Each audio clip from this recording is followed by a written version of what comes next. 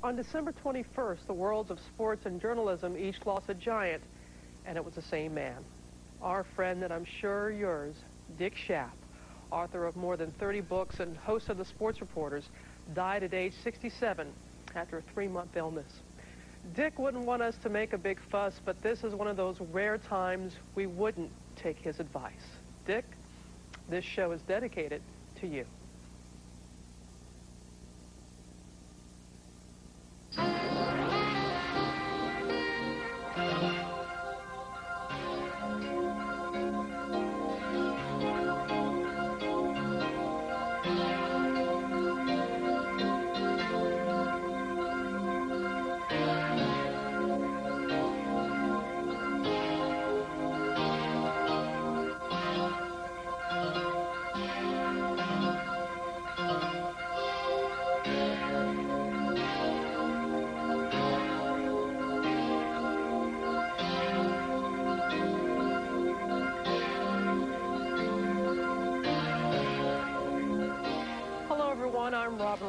Roberts. Over the next hour, we will remember athletes, coaches, broadcasters, and others in sports who passed away this year. We will reflect on their accomplishments and their contributions.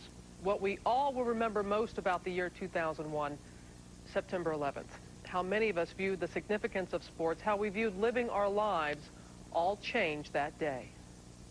Country has, in many ways, come to a halt Airports were closed. Wall Street shut down for the week. And anxious Americans huddled at home glued to the news on TV. Big-time sports was benched too.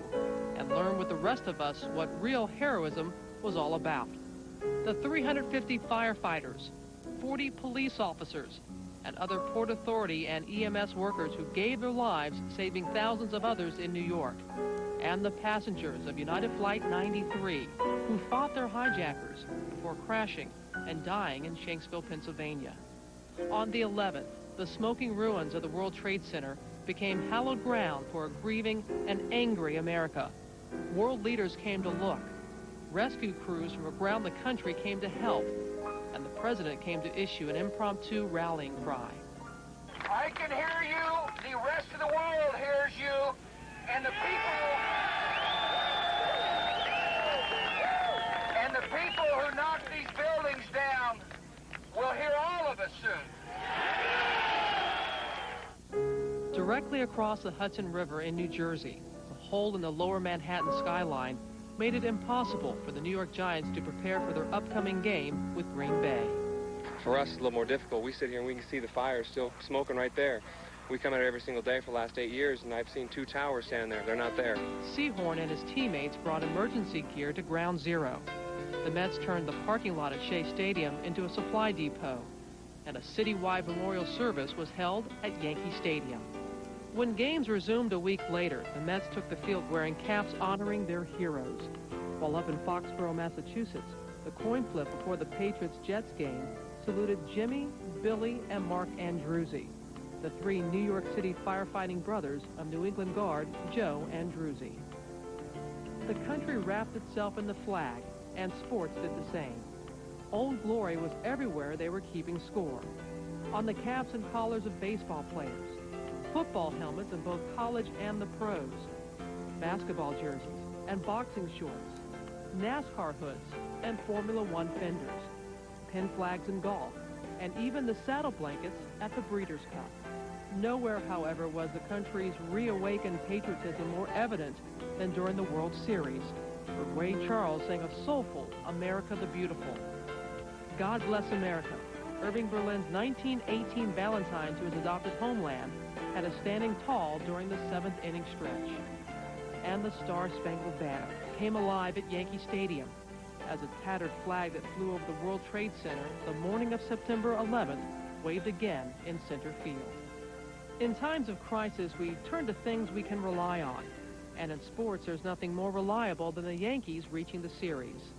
They didn't win it for a change, but they won the hearts, if not the minds, of even the most seasoned Yankee haters. Hate was dropped from the American vocabulary this fall. Hate is for terrorists, not heroes. And we're also careful how we use the word hero. We casually refer to athletes as being heroes. All that changed the morning of September 11th. I witnessed firsthand in New York doctors, nurses, rescue workers, countless volunteers, and most certainly police and firefighters coming to the aid of people they didn't even know. Teamwork like I've never seen before. Dale Earnhardt was an imposing figure on the NASCAR circuit, but his impact reached far beyond that. Even if you didn't follow racing, chances are you knew who Earnhardt was. He was the man in black, the intimidator. In many ways, he seemed bigger than life. But tragically, on February 18th of this year, at the Daytona 500, Earnhardt lost his life, doing what he felt he was born to do. This is undoubtedly one of the toughest announcements that I've ever personally had to make. Uh, but after the accident and turn four at the end of the Daytona 500, uh, we've lost Dale Earnhardt. My husband died doing what he loved. We all miss him terribly. You know, it's very ironic that there, his race cars were in front of him and going on and finishing first and second in the Daytona 500. And there he was a quarter of a mile from the finish and didn't quite get there. You feel like you lost one of your own. And you really have. I can't watch it anymore. It hurts. It's just like sort of losing a brother. You just can't put it into words. What do you mean? Um, just heroes aren't supposed to die. But a hero did die, and the outpouring of emotion that followed had previously been reserved only for rock stars, royalty, close friends, and family. I miss my father, and uh, I cried for him, but out of my own selfish pity is the reason for those emotions. I just try to remember that he's in a better place. I was just floored. This, this couldn't happen. This couldn't happen to this man. You know, no way that he was going to die Hard to believe. You know, you, you thought that you were in a, a bad dream and you're going to wake up and, you know, but, you know, it's the way it was. Dale Earnhardt may have been a good old boy from Kannapolis, North Carolina, but on the track, he was truly the man in black. He earned the nickname the Intimidator for his aggressive driving style, a style that led to 76 career victories and a record-tying seven Winston Cup championships. But that was a public persona, only a small part of what Earnhardt the man was really made of. I saw the way that Dale treated Teresa and, and their life together, how special it was, and Taylor, and, and what he meant to his kids. And uh, we can we can find us another hero on the racetrack, but those those people will never have another hero at home like Dale was, and so that's the one that's going to be hard for me to get over. My wife Joni was eight months pregnant with our daughter, and and he called the house. He happened to turn the ESP on and saw me doing a football game, and he calls the house where we were living up in the mountains and says, Joni, said, I know Doc's doing a game, and it's snowing like crazy outside, and you're on top of the mountain. He probably took the four-wheel drive to the airport, right? She said, oh, yeah, yeah, but I'm okay. I'm still a month away from delivering. I'm fine, Dale. Thanks for calling anyway. He said, no, no, no, no, no. He said, I've already got two guys with a flatbed truck on the way up the mountain uh, with a four-wheel drive, and one of the guys is going to stay there till Doc gets back in case you need anything. And that's the kind of guy Dale Earnhardt was. A policeman came up and said, I'm an Earnhardt man. I'm going to miss him. I mean, it was a, the, the man had a was a larger-in-life figure in American sport. Uh, he's a down-to-earth, straightforward, plain-spoken fella who was a was a star. Some of the finest moments of Dale Earnhardt's career came at the track that eventually claimed his life. The Intimidator already had seven Winston Cup titles when he finally won the Daytona 500 back in 1998. Like a kid in a candy store, Earnhardt savored every moment. Through home video, Kenny Mayne allows us to all relive Earnhardt's joy on that great day. Maybe this is what happens when we die. Everyone who ever cared about us reaches out to make one last contact, an expression to show we mattered. Dale Earnhardt had already experienced something like that upon winning the Daytona 500 in 1998.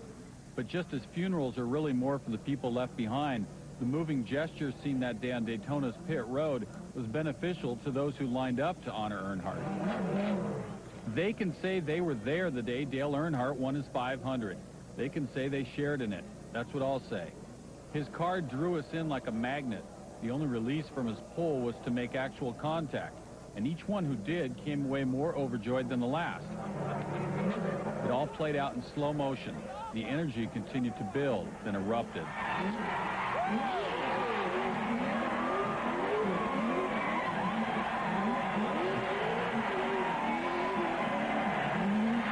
He'd done nothing to shake us off. We crowded for any angle to see him. Down at Victory Lane, Dick Earnhardt has just climbed from his car. He's standing on the roof of the machine, showering champagne everywhere. Dale didn't spray all the champagne that night. I didn't wear my suit. The shower's out. Welcome back. Now we were preparing for some kind of TV show, but the best theater was soaking in his presence, following the biggest moment of his racing life. couple comments, and we'll show the highlight. Have you seen the highlight yet? I was in race car. And before we when we get into highlight toward the end of it, your mic's gonna be open. I'll just let you go. Just Dale, what was it like? And, and you're just gonna see. One and a half. Pictures are right there. Just describe what's happening. Where's your head?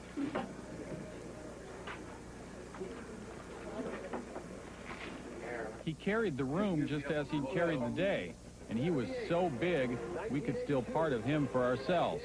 That makes us very fortunate now as we reach out to express the fact he mattered. We're going go-kart right tonight. Do you wanna go? I promised the guys I I would got a big party. You want us to go there? No. Everybody else is, he's not. It was his night, his party. But the thing is, even Dale Earnhardt was powerless to stop others from claiming that day as theirs. Celebrations like funerals are shared events.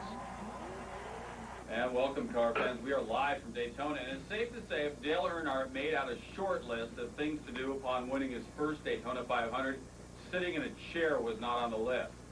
Gentlemen, start your emotions. Dale, thanks for being on the show with Benny and with the doctor, Jerry Punch. What a day. Dale Earnhardt Jr. will bring his late father's number three back to NASCAR racing next season, campaigning a Chevy with the Intimidator's number in two Busch Series races. The car will be owned by Richard Childress, who was Earnhardt Sr.'s employer. The pit crews will come from Dale Earnhardt Incorporated, Jr.'s employer on the Winston Cup circuit. The number three car has not been used since the elder Earnhardt's death. Up next, he was the gentle giant who gave his heart both on and off the field. We'll look back at the life of Korey Stringer.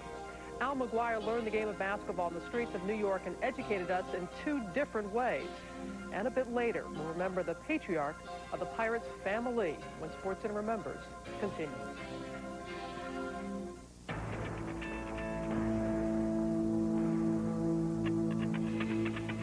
It's been said, men tend to communicate shoulder to shoulder. If that's the case, these guys are saying, let's change the world.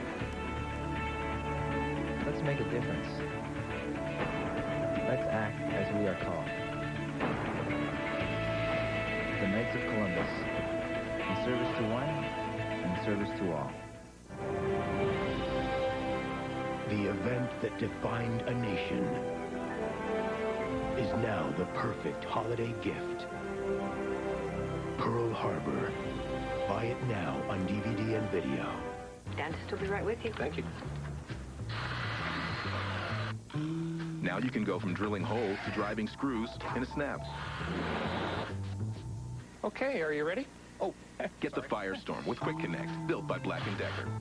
The power of rushing water. Nature cleans the earth with it. Interplak uses it to clean your mouth. The Interplak Dental Water Jet washes away particles and plaque brushing can't reach, leaving your mouth clean and fresh as nature intended. Interplak, the power behind the clean. It's the most wonderful week of the year. With those 50-yard takings and repeatedly clippings, the crowd Capital One Bowl Week begins Thursday on ESPN and ESPN2. December separates the men from the boys, and the Jets have something to prove. But Peyton Manning's Colts can light up a scoreboard. Can Curtis Martin keep the Jets playoff bound? Jets Colts, 8.30 Sunday on ESPN.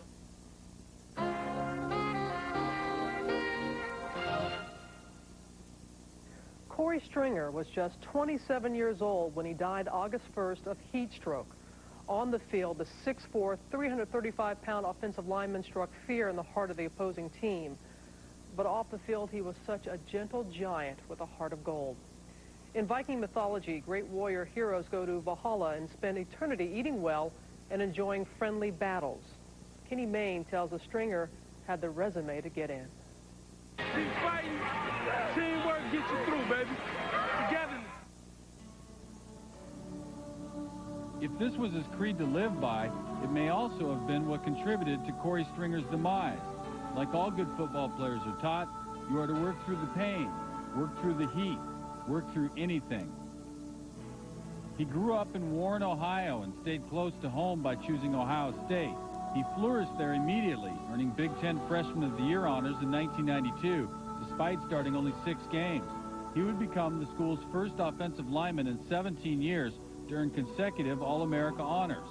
The Vikings made Stringer the 24th pick of the NFL draft in 1995, and he made an immediate impact. After starting right tackle Rich Cunningham was lost to an injury in the season opener, Stringer took his place and never lost it. He started the next 15 games and was named to the NFL's All-Rookie team. Over the next five seasons, Stringer was a lead man in the Vikings offense, one of the most productive ever. He created the pass for Robert Smith to gain 1,000 yards or more in four consecutive seasons. Stringer dealt with weight problems, but missed just three games to injury. He started every game in each of the past two seasons, and his success was rewarded with his first trip to the Pro Bowl in February. With his wife Kelsey, Stringer raised his three-year-old son Cody. The Stringers made the Twin Cities their year-round home. Korey worked with other kids too, at local schools and the St. Paul Public Library. One by one, his teammates tried to put into words the enormity of their loss. The emotion alone spoke volumes about the void left not by a 340-pound man, but by a man named Korey Stringer. Funeral services for Korey Stringer were held in Minnesota and in his hometown of Warren, Ohio. Hundreds of people who made his life complete both on and off the field came to say goodbye. And on November 19th, Korey's wife Kelsey and son Cody were back at the Metrodome as his number 77 jersey was retired, an honor that has been bestowed upon only three other Vikings. Korey Stringer's memory will forever be a part of Minnesota football. The day after Stringer's death, Rashidi Wheeler's mother called her son to make sure he and the rest of his Northwestern Wildcat teammates were taking care of themselves, especially in the heat. The next day, Rashidi Wheeler, a strong safety, collapsed and died during preseason conditioning drills. The 22-year-old suffered from asthma. Bronchial asthma was listed as the official cause of death. Wheeler, who would have been a senior this year, started all 12 games of the Wildcats last season and finished with 88 tackles. His number 30 was retired this season.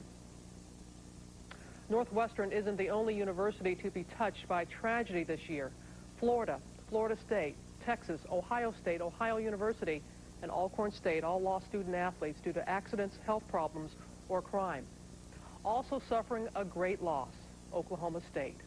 January 27th, a plane carrying eight people associated with the OSU basketball team, including two players, plus a two-person flight crew, crashed outside Denver.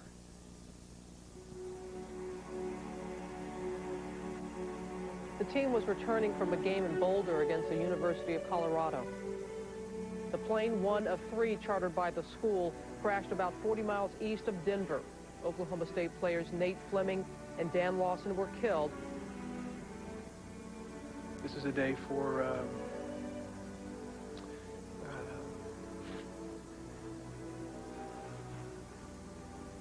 there's a lot of pain. Ten people were on the 11-seat plane, eight associated with the Oklahoma State men's basketball team.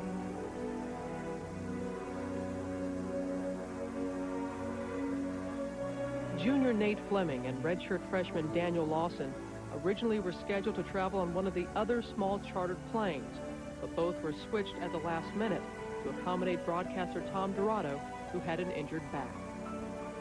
If there was a grand plan and I had the, I was given the option or, or, or I could see that, okay, you're going to be on this plane and a 20-year-old was going to be substituted for you, uh, there's no question. I mean, the human side of you says, hey, I've, I've been around. I've, I've, lived more than half my life.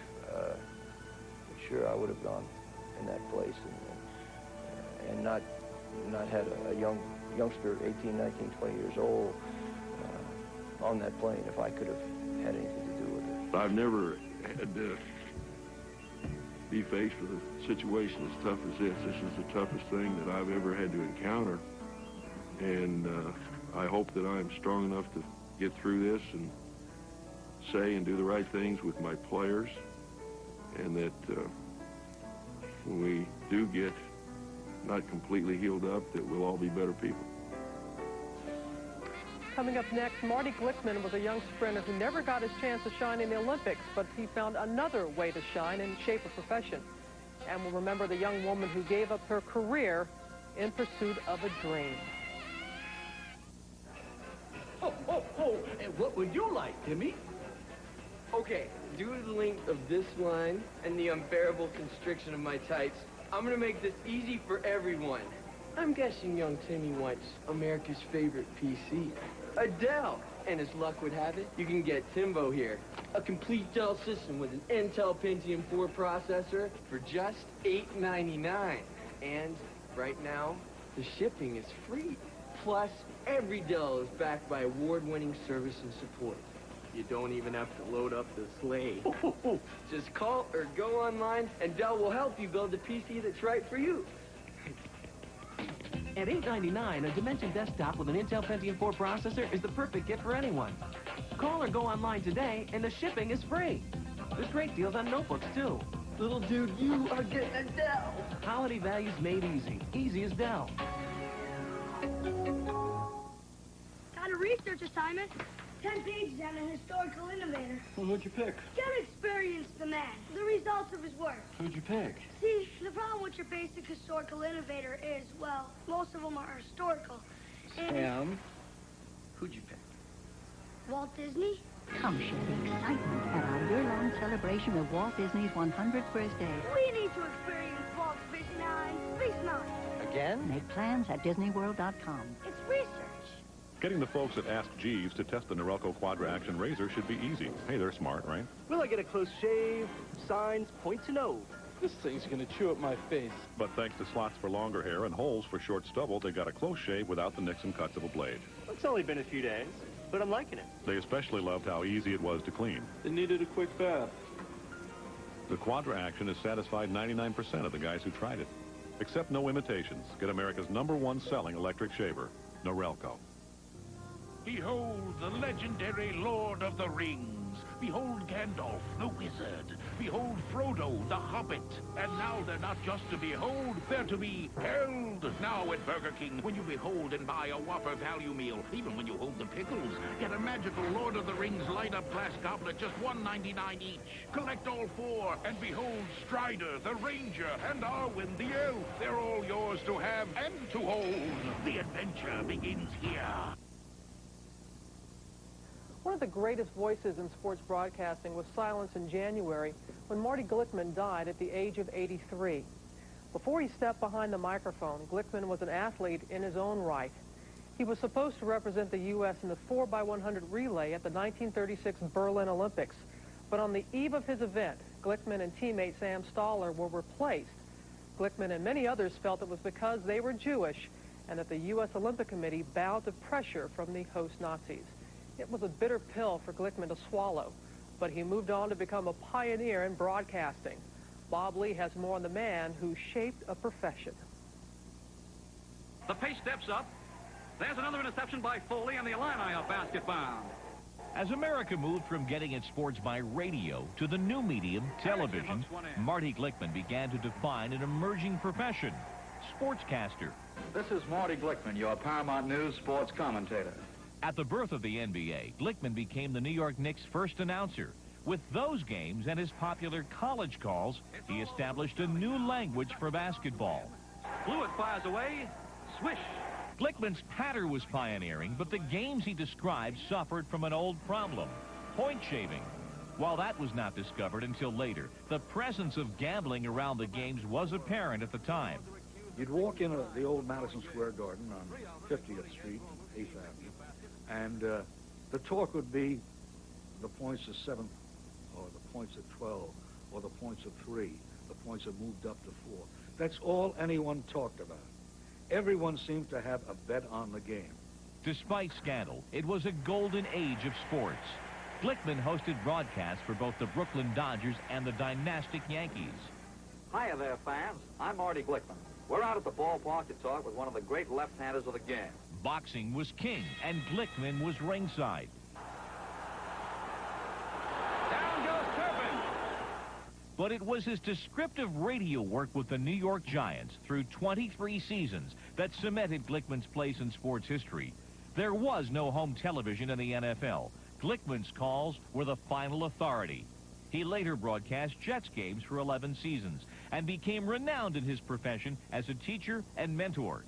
Scores of established sportscasters recall Glickman's counsel and generosity. He said, when you're sportscasting, talk English. You don't hear the players in the locker room say, here I am toting my pigskin.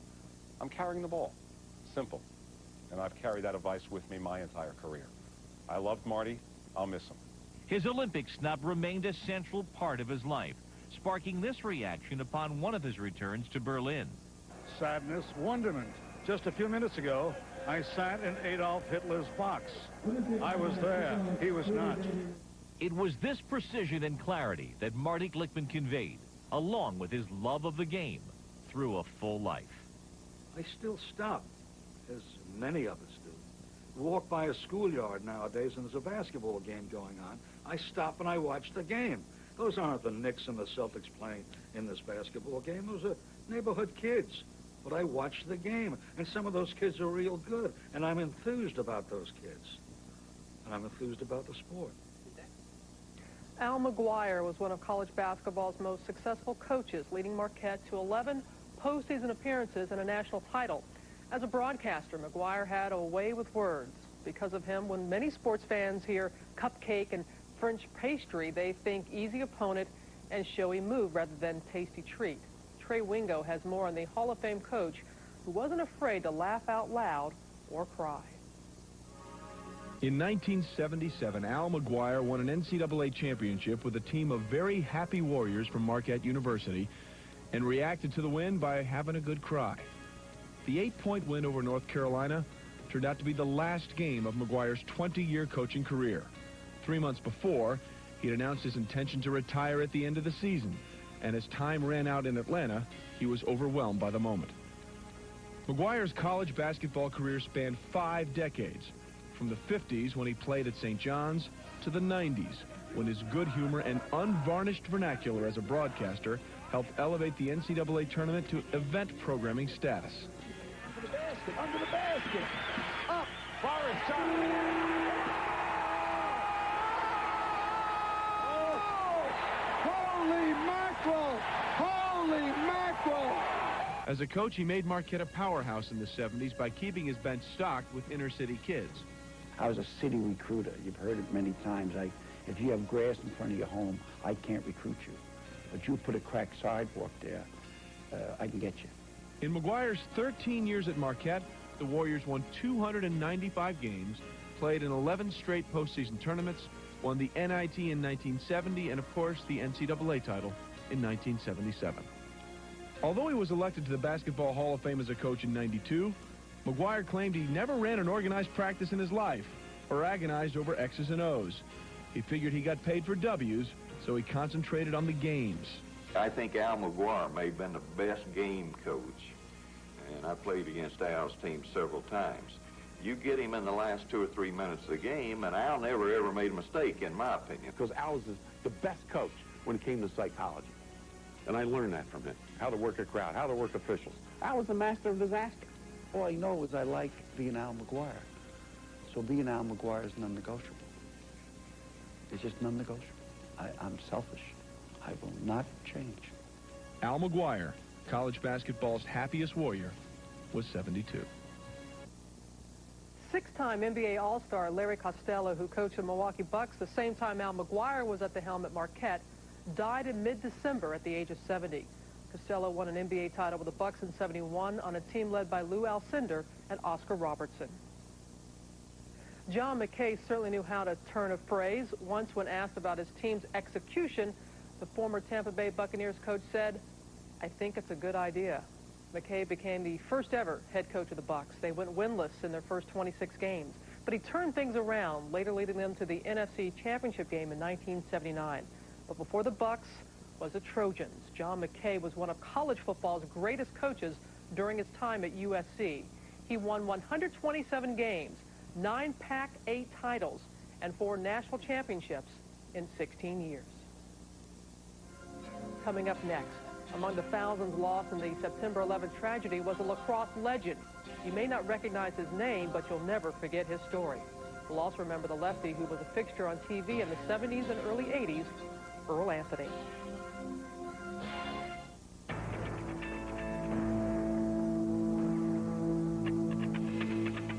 It's been said, men tend to communicate shoulder to shoulder. If that's the case, these guys are saying, let's change the world. Let's make a difference. Let's act as we are called. The Knights of Columbus, in service to one, in service to all. Moo. Looking for an incredible deal on a computer this holiday season? Just call 1-800-GATEWAY because right now you can get a Gateway 300S desktop complete with an Intel Celeron processor, 17-inch monitor, a 20-gigabyte hard drive, and a CD burner all for just $7.99. That's a fully loaded desktop for only $7.99. To take advantage of this special holiday offer, call 1-800-GATEWAY.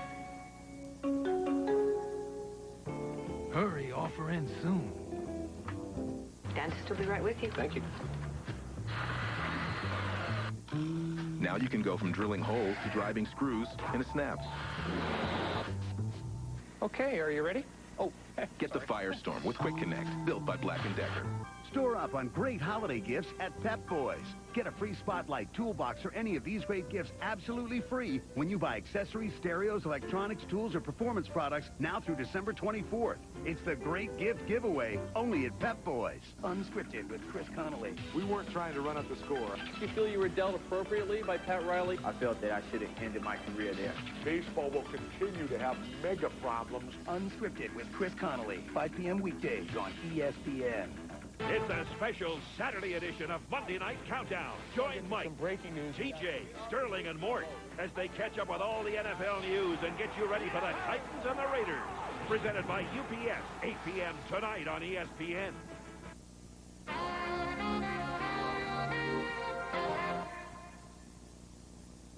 This was something that not only was a kind of a life dream for her, but something that was more of a challenge because of the fact that the program was in jeopardy.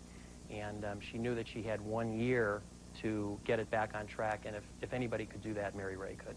But Mary Ray Sopper never got the chance to guide the UC Santa Barbara women's gymnastics team in what was likely its final year of existence. Sopper, a former Navy JAG officer, attorney, and gymnast, was one of the 64 victims aboard American Airlines Flight 77, killed in the attack on the Pentagon September 11th. Sopper was flying to the West Coast to begin her new job. Everybody is working so hard because they're doing it for Mari-Rae, even though she's not here. The Los Angeles Kings were also personally touched by the terrorist attacks. The team lost two scouts who were aboard United Flight 175, one of the two planes that hit the World Trade Center.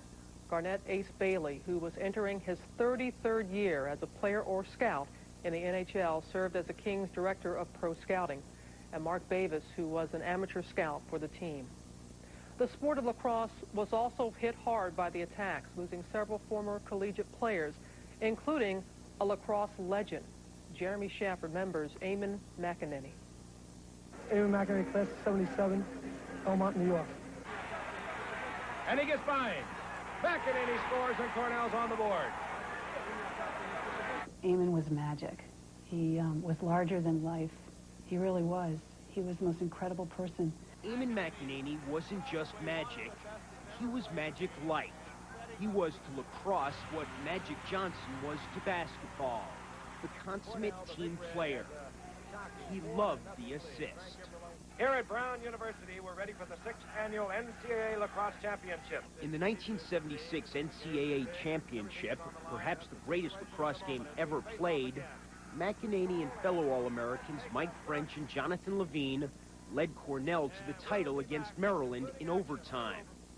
One moment in particular typified McEneaney's play. McEneaney going in all alone. He fires over to French. And French scores his seventh goal. He has four assists. What a day for Mike French. He stopped and basically passed it back to me, and I threw it in. McEneaney would just as soon get an assist as a goal. I believe he could have shot that one and would have had a very fine chance of scoring. I've shown that tape to uh, my friends, and they've asked me the same question. How'd you know that guy was going to pass that ball? I said, hey, never, I never doubted that he would. But when French and Levine graduated, McEneaney elevated his game. Sure it'd be nice to have him back again, you know. Uh, I'm sure we could do it without him, you know. We've gone the whole season without him, so today should be no different. It was no different. McEneaney carried Cornell to its second straight national title. And in the final against Johns Hopkins, he scored eight points. He was the National Player of the Year. If you ever saw him physically in college, he was probably 150 pounds soaking wet, and you know, hair down to here, his teeth were missing. But he had a, a certain certain divine spirit in him that was um, he was a leader, and he was uh, not afraid. Years after leaving Cornell, McEneaney was still a leader and unafraid. When the World Trade Center was bombed in 1993, he organized the evacuation of more than 60 coworkers, leading them down more than 100 flights of stairs through thick smoke. He counted off every fifth floor to make sure that everybody was still okay. He made sure that people passed out shirts and jackets and kept them over their, their faces. It was a very difficult situation, but he was able to carry this through. And again, you know, just like in the Trade Center situation, this time, I know that if, I've said this so many times, if any of his best buddies up there, and he loved them all so dearly, were injured, uh, if they were uh, even paralyzed with, with, with fear of the situation, he would have stayed with them. Even if he could get out, he would have stayed. Eamon McEneaney grew up Irish-American and working class on Long Island, the youngest of seven children. He excelled not only at lacrosse, but at basketball and football as well. Sport, however, was only one of his passions. I think he was a much better writer than he was lacrosse player, which would probably surprise a lot of people. And he was probably one of the best lacrosse players ever. People know my husband as the athlete because clearly he was extremely gifted uh, in, in every single athletic endeavor he pursued. But I like to think of him more as the poet. McEneaney loved all things Irish, from the poetry of William Butler Yeats to the songs of Van Morrison. He was dedicated to his wife and four children. On and off the field, he made those around him better, and they loved him for it. I got a lot of assists from Eamon, but, you know, in the last 25 years, I've got a lot more. He's uh, special.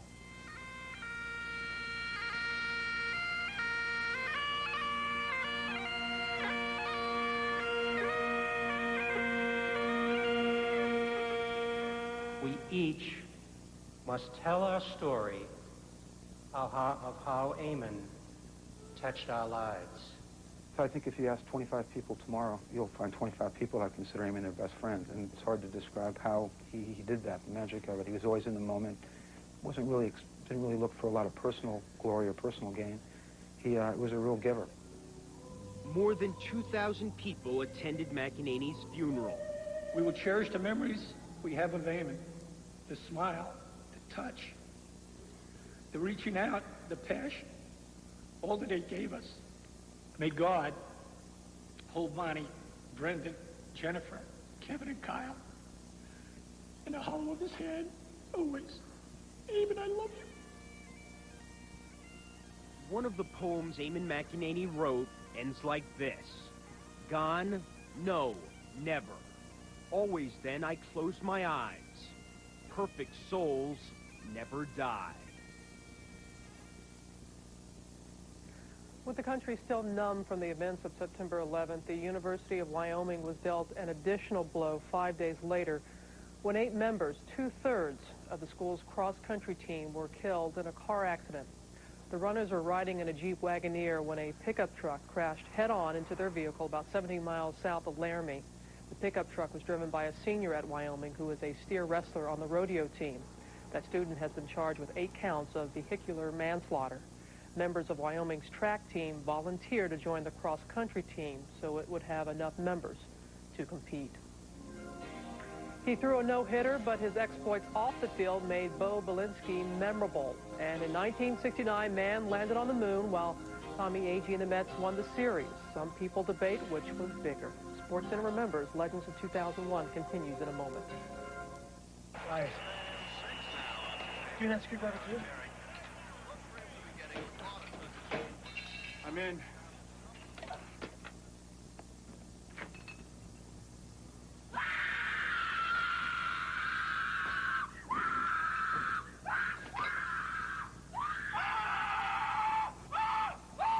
For the great taste that won't fill you up and never lets you down. Right as yet. Pliers. Make it a Bud Light.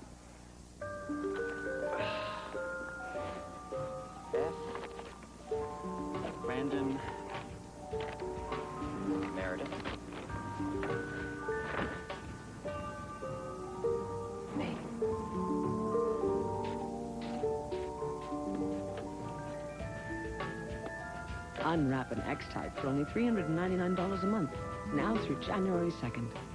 Visit your local Jaguar retailer today. It was our first house, and shortly before my parents' grand inspection, there was a tiny problem. I told my State Farm agent I had to get it fixed fast.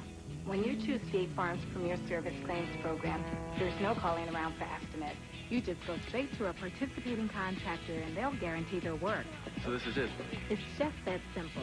Boy, they don't build them like this anymore. No, they don't. Premier Service, just one more way. Like a good neighbor, State Farm is there.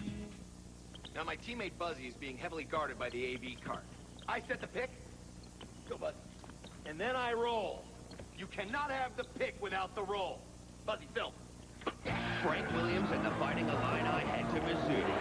For three, it knocks it in. To take on scoring sensation Kareem Rush and the Tigers. If you don't love this kid. Illinois, Missouri at 9 on E ESPN. Texas UNLV at 9.30 on E ESPN2. BYU Stanford at midnight on ESPN. Tonight.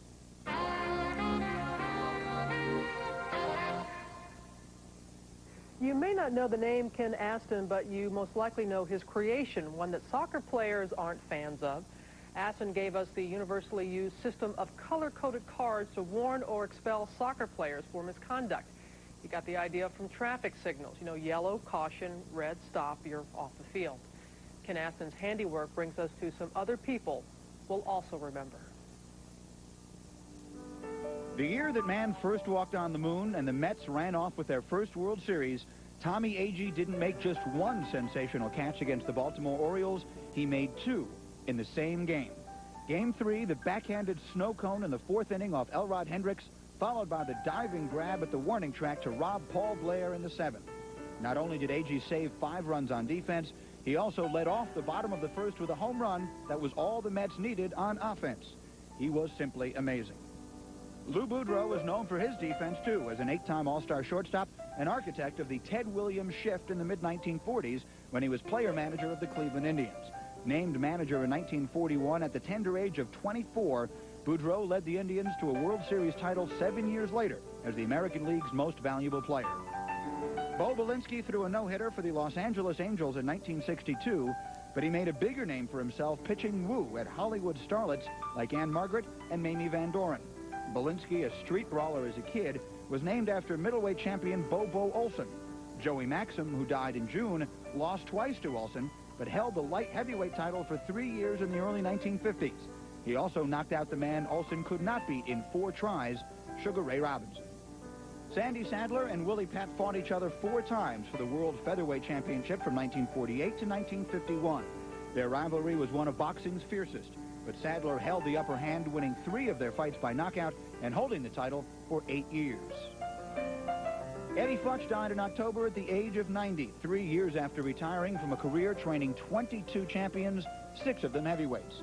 He may have been the only man to beat Muhammad Ali twice as Joe Frazier's strategist in 1971 and Ken Norton's trainer two years later.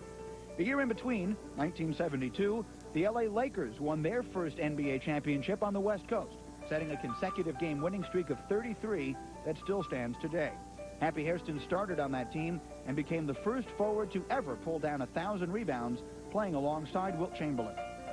Two members of the Los Angeles Rams Bull Elephant backfield passed away at the age of 73. Tank Younger, the first of Eddie Robinson's Grambling players to reach the NFL, and Deacon Dan Towler, who made All-Pro three times while studying for his master's degree in religion at Southern Cal. Another deacon, Irving Crane, who called himself a professional pocket billiards exhibitionist, won seven world championships from 1942 to 1972. He was considered one of pool's best three players ever, along with Ralph Greenleaf and Willie Mosconi. One of bowling's all-time greatest, Earl Anthony, also died, although at 63 he was a good deal younger than Crane. Anthony was the first bowler to earn six figures in one year, as well as the first to pocket a million in career earnings. He also won a record 41 titles as a regular on the PBA Tour. And while Earl Anthony was a bowling giant, George Young was the brains behind the Super Bowl winning New York Giants. Named general manager in 1979, he drafted Phil Simms and Lawrence Taylor, hired Bill Parcells, and turned a perennial loser into world champions in 1987 and 1990. Young was also the only GM to have three employees, Parcells, Dan Reeves, and Jim Fassel, win NFL Coach of the Year honors. The death of Sir Donald Bradman in February brought only a few short lines in the sports pages of most U.S. newspapers, but in his native Australia and other countries where cricket is popular, Bradman's death at age 92 brought headlines. The Don was to cricket what Babe Ruth was to home run hitters. His scoring average was nearly 100, which is 40 to 50 runs higher than the game's other greats. And another international star who passed away, Yaroslav Drobny, the Czech two sports star, won an ice hockey silver medal in the 48 Winter Olympics and won three tennis Grand Slam singles titles. Drobny was 79. Another legend lost this year Affirmed the 1978 Triple Crown winner, seen here on the rail. The amazing chestnut retired to stud in 1979 after a career that included 14 stakes wins and more than $2 million in earnings. Unbridled, who has sired 24 stakes winners, was put down in October. Unbridled's perhaps best known for his 1990 Kentucky Derby win.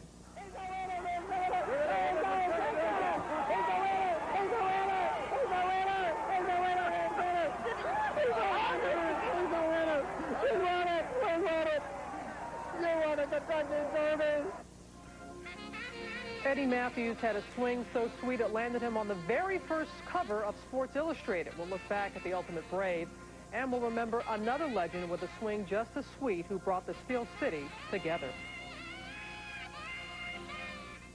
This is Creed. Their brand new album features the smash My Sacrifice.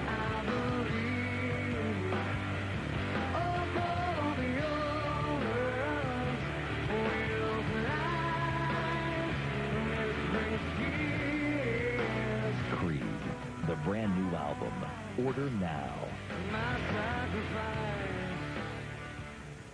This holiday season, the Compaq Presario 5000 TPC will come bearing gifts, like a free color printer, a $50 instant rebate, and free shipping. Not to mention a powerful Intel Pentium 4 processor and Microsoft Windows XP Home Edition, all for just 849. And you don't even need to travel afar. Call 1-800-331-4120 to buy now. You'll get one great PC and three great gifts.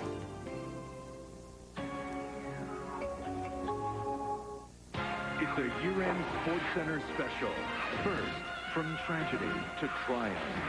Join Chris Berman and Stuart Scott as they look back at an unforgettable 2001. Relive the World Series, Tiger at Augusta, the NBA Finals, and much more. And later, Dan Patrick counts down the top 10 games of the year.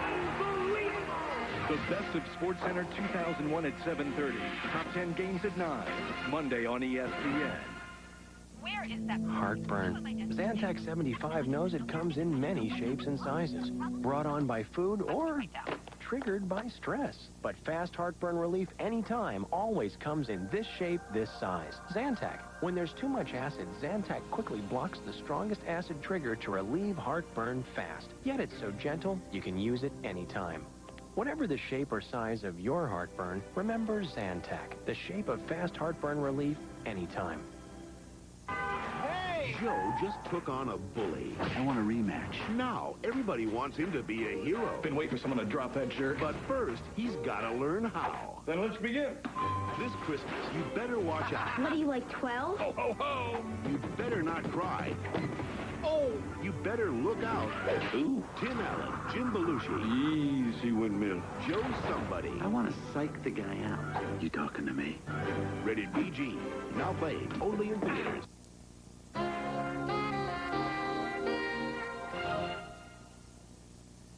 Mathews was a Brave three times over.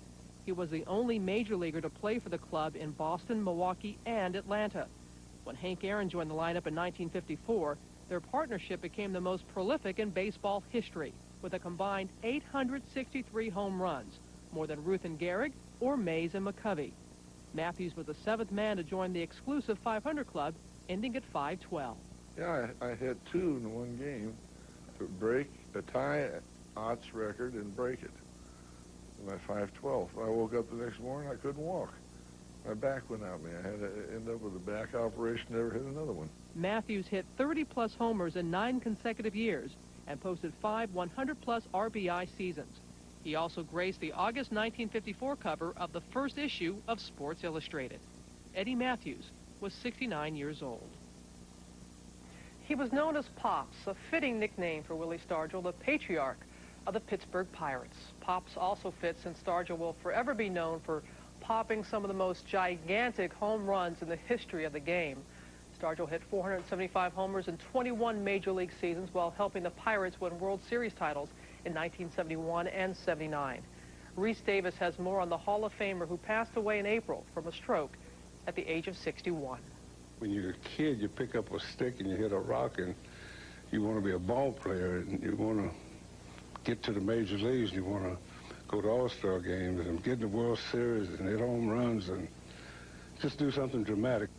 In 21 years in the major leagues, Willie Stargell seemed to have surpassed his wildest expectations. It began in 1962, Stargell learning the ropes from Roberto Clemente. In 1971, the Pirates won the World Series behind Clemente's brilliant play and Stargell's winning run in a decisive seventh game. When Clemente was killed in a plane crash the following year, Stargell was thrust into a starring role. Well, Roberto is just a special individual to begin with. And uh, he passed on a baton to me. And the things that he taught me uh, about the game and being a man was a, a big part of my life. Throughout his career, the imposing lefty built an impressive resume of tape measure home runs. Those hits put fear in his opponents and brought joy to his teammates. Every time the, the Stargell would come up to bat, we'd all peek over the fence and watch him hit because he just had that sound of the bat was a little different than everybody else hit, and you knew he was something special. Stargell's biggest impact came late in his career as a leader who made the game fun. If you think about Stargell, uh, and on days that I didn't pitch, you, you saw a guy that really enjoyed playing every day.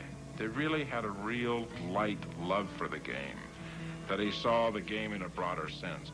Starge was magnificent. He was a great leader. Uh, they called him Pops not just because he was older, but because to many of the players he was a father figure to them. He would help them when things got tough, when things weren't going well for the other players. They respected his opinions. 1979 was a landmark year for Pops. His love for R&B music provided the team an inspiration. The song, We Are Family, became Pittsburgh's anthem, and the Steel City sang the Sister Sledge hit in unison. At age 38 with ailing knees, Stargell shared National League MVP honors with Keith Hernandez and led the Pirates to the World Series. Trailing three games to one, Pittsburgh would come back to force a Game 7. Comes to him and is a high fly ball into deep right center field. Back away back to the wall. It's gone. He's done it.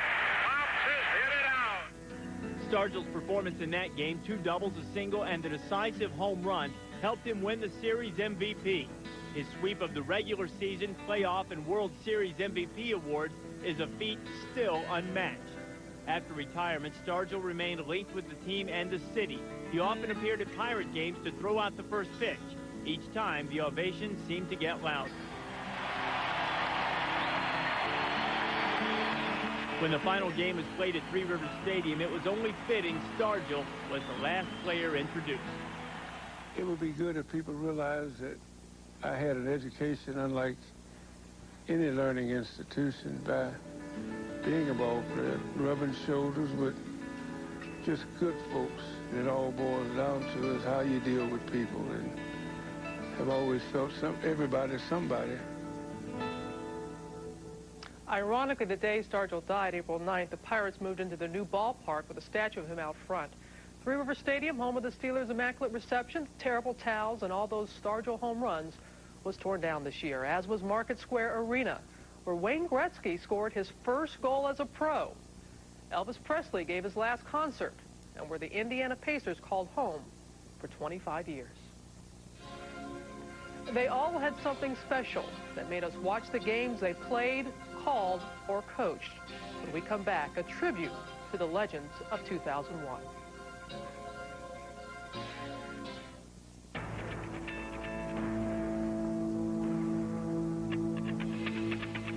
It's been said, men tend to communicate shoulder to shoulder. If that's the case, these guys are saying, let's change the world. Let's make a difference. Let's act as we are called. The Knights of Columbus, in service to one, and in service to all. The Zales exclusive half-carat diamond fashion ring for 149. There is romance in here. Zales, the diamond store. Dentist will be right with you. Thank you. Now you can go from drilling holes to driving screws in a snap. Okay, are you ready? Oh, get the Firestorm with Quick Connect, built by Black & Decker.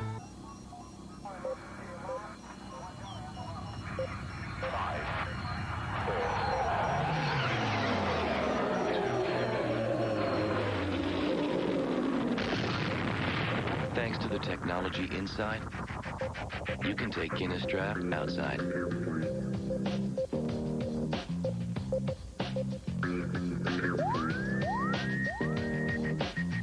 Introducing Guinness Draught in a bottle.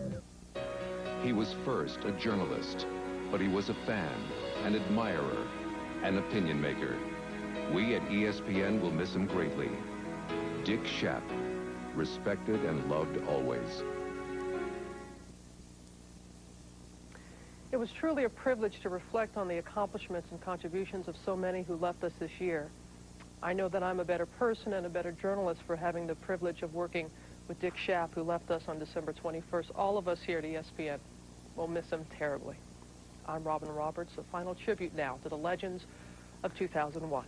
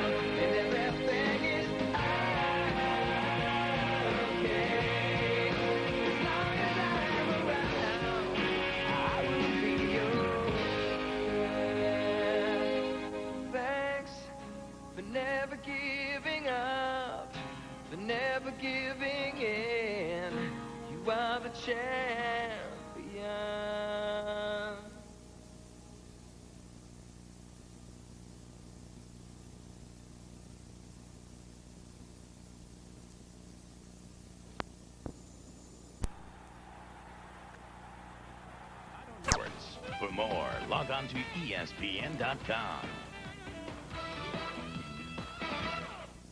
Hi, this is Luis Gonzalez of the Arizona Diamondbacks. We appreciate everything you guys are doing down there fighting for our country. We hope everybody has a safe and happy holidays, and we can't wait to get you guys home. And to us athletes, you guys are the true heroes. Thank you. Capital One Bowl Week, Thursday on ESPN. Stanford against Georgia Tech. Yellow Jackets playing their first game without George O'Leary. Then there's the mainstay Independence Bowl. Great chance to see one of the most exciting unknown players in America, Seneca Wallace, quarterback for Iowa State, as they take on Alabama at 7.30. Then on Friday, it's the GalleryFurniture.com Bowl Southwest Conference matchup at 1.30 between A&M and TCU. BC and William Green in the Music City Bowl against Georgia at 5 Eastern Time. And then it's the Culligan Holiday Bowl, number 9, Texas. Major Applewhite starting at QB against Washington at 8.30. And from the NFL, Sunday, 8.30 Eastern, it's the Redskins and the Saints. New Orleans still with a chance at the playoffs. That'll do it for us. Happy holidays, everybody. I'm Bill Pidto. And I'm Dave Revsine. Thanks for spending part of your holiday with us.